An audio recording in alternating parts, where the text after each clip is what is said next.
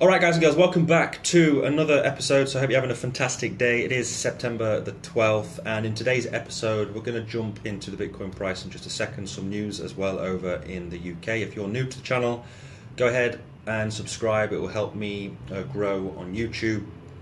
Smash up the like, um, you know what to do by now. So, anyway, without further ado, let's just jump straight into uh, the Bitcoin price. So, as you can see, yesterday looked like we were rolling over. Um, we did talk about that in the video, but today we have just um, gone from what 55k all the way up to we've gone up 5.4% altogether. We are having a tiny pullback on the lower time frames.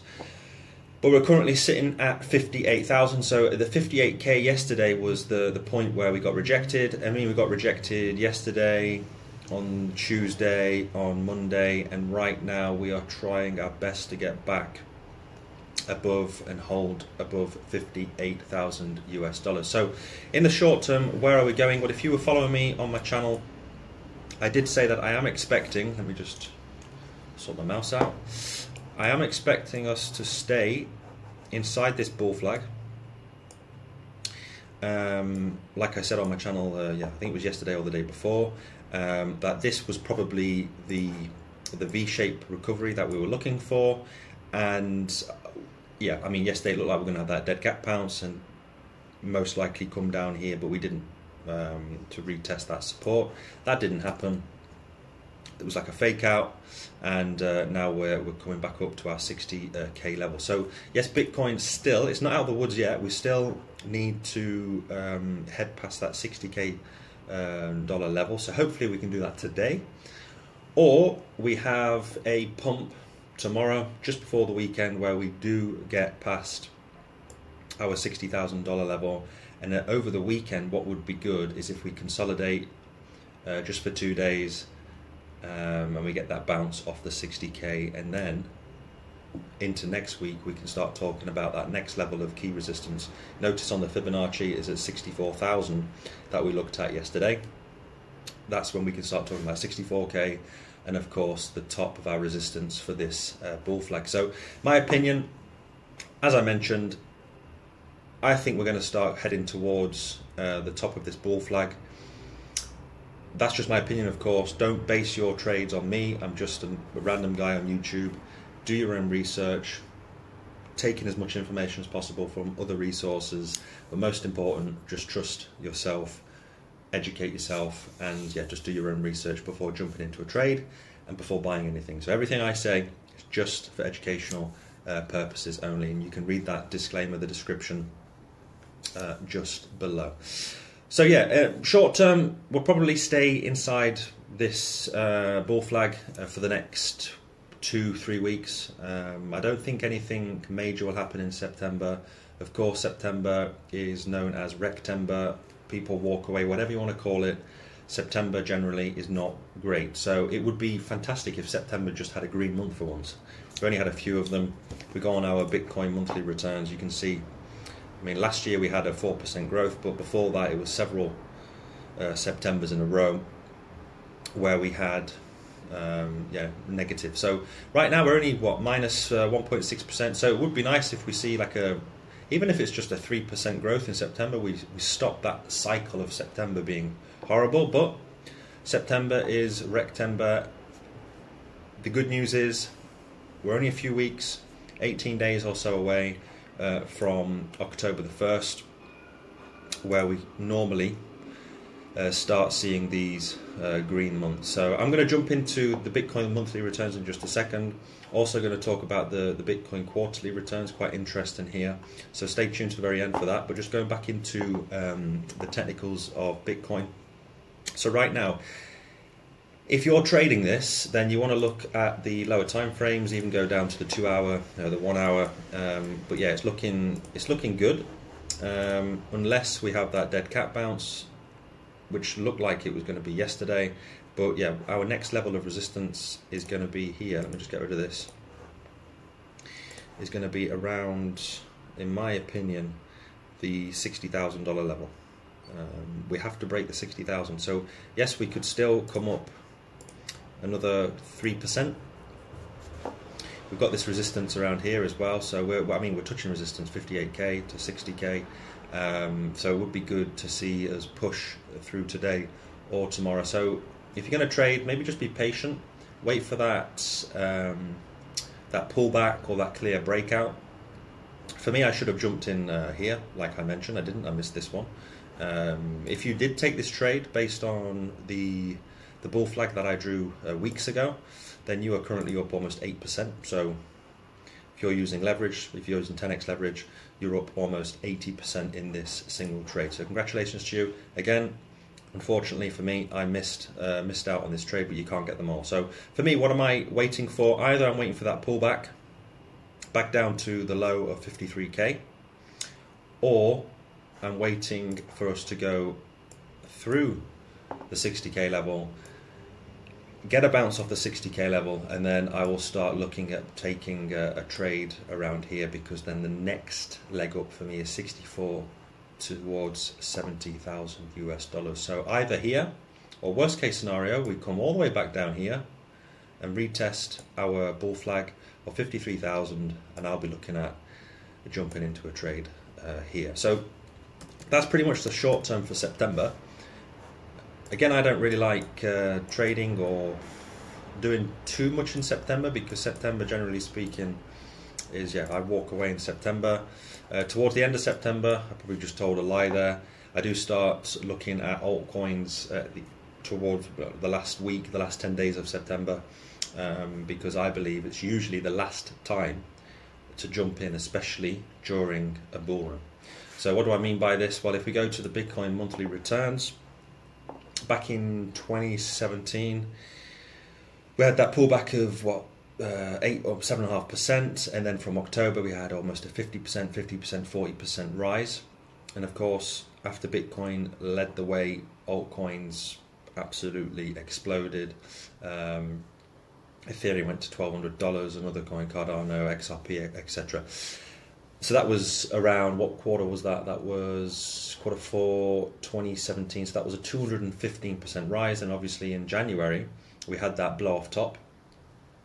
And we went into a bear market for two years, going into 2020, where we had 168% rise in 2020, um, all the way here. So we had that obviously in uh, March, the COVID dump.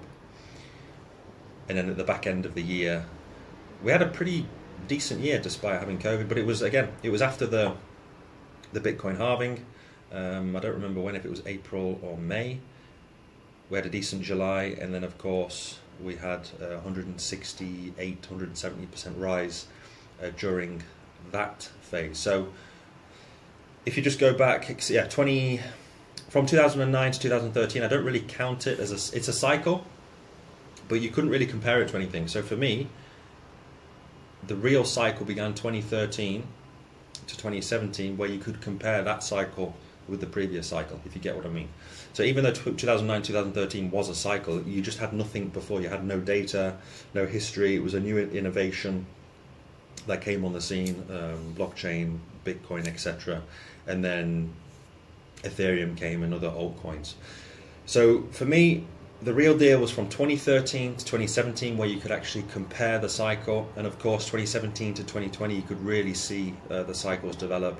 And then over the last four years i mean we've been in a bull run now for over a year or you can call it accumulation phase but we haven't been in the real meat of the bull run which is about to get underway with quarter four. So in my opinion there's two possibilities or more possible. It's just my opinion, of course. There's several possibilities what could happen. I mean, we could have a major black swan event, and everything just crashes. I am expecting a global financial catastrophe.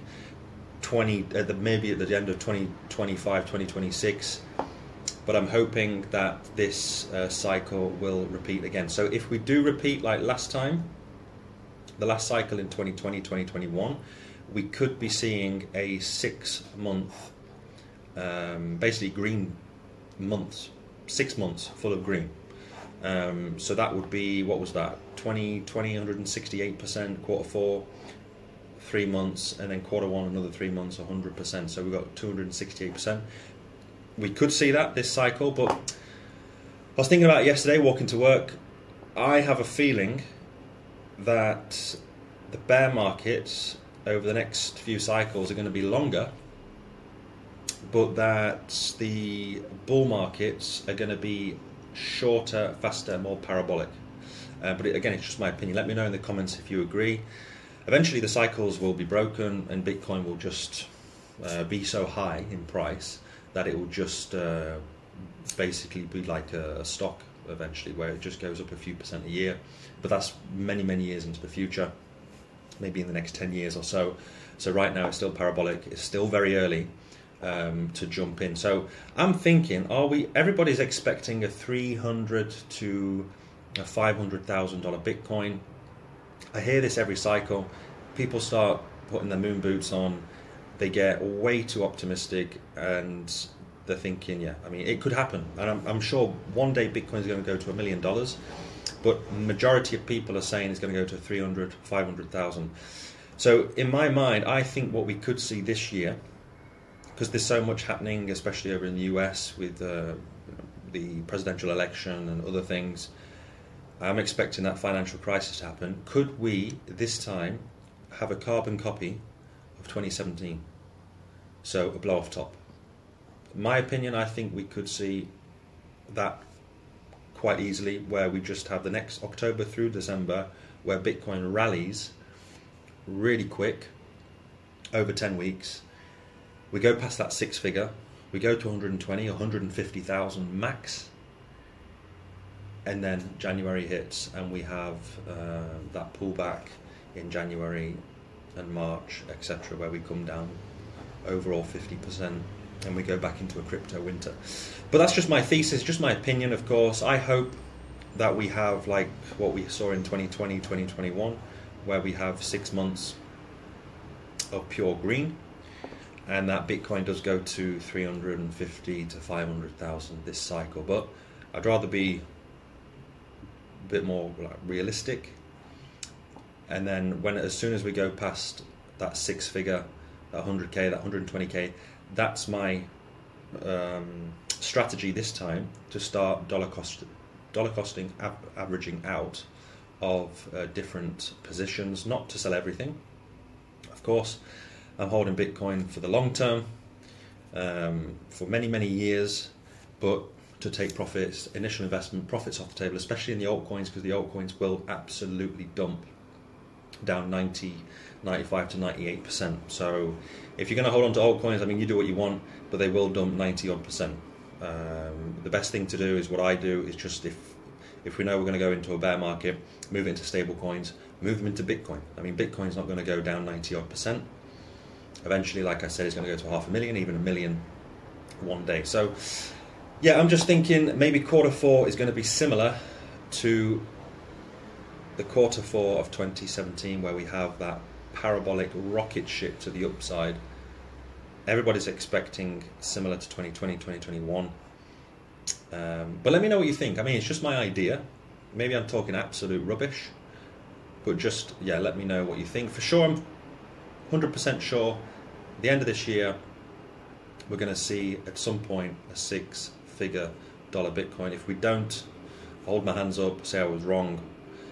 But I'll be absolutely astonished if we don't see anywhere close to a hundred thousand dollar Bitcoin, even one hundred and twenty thousand come the end of this year. So short term, like I've been saying, we've got to get past that 60k. Long term, like I keep saying, we're probably most likely coming up to maximum 150 by the end of this year.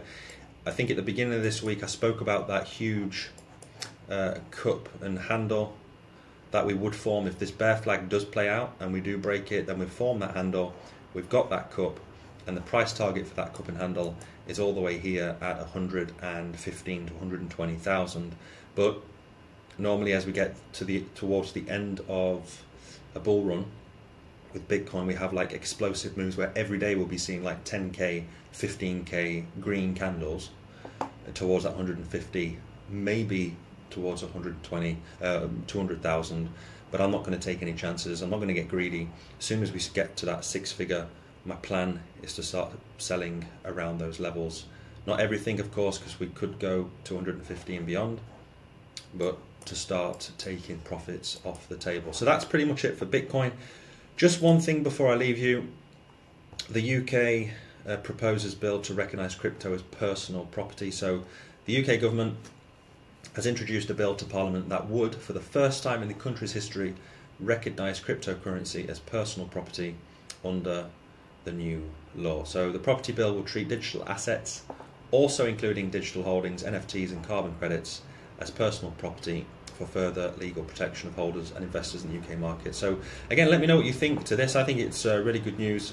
Of course, I'm from uh, the UK originally. I don't live there, haven't lived there over the last 10 years, but the UK, they want to, uh, for, just from reading this, I mean, you can read it yourself.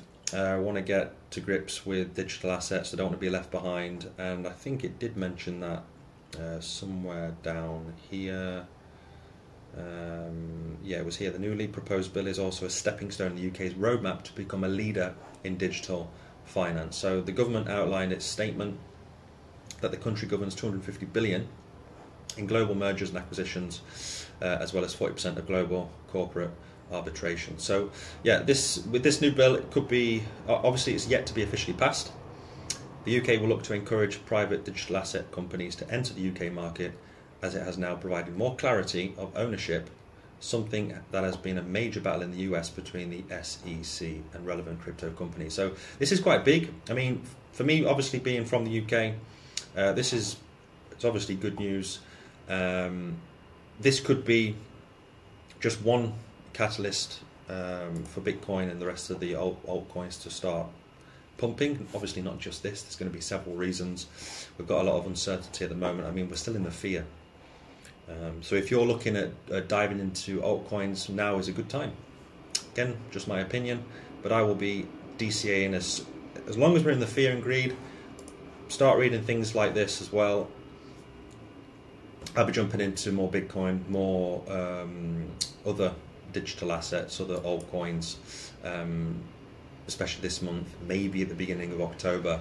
Um, but as soon as you start seeing loads and loads and loads of um, news articles, advertisements on crypto, when your grandma starts talking about crypto, then you know that's the time to sell, to get out, and to walk away for two years. Because as soon as your grandma starts talking about your aunt or whatever, your uncle, that's probably the peak of the bull run and then we're going to go into a crypto winter. So, just uh, some news there. So, let me know about that, what you think. Let me know in the comments section below what you are doing, which altcoins you're buying, and where you think um, Bitcoin is going in the short term, and if you agree with my uh, thesis for the rest of this, uh, for the end of this year, where we could see that blow off top. So, thanks, guys and girls, for sticking to the end enjoy enjoy your Thursday, and I hopefully will see you tomorrow. If not tomorrow, definitely next week. So thanks again, and bye bye.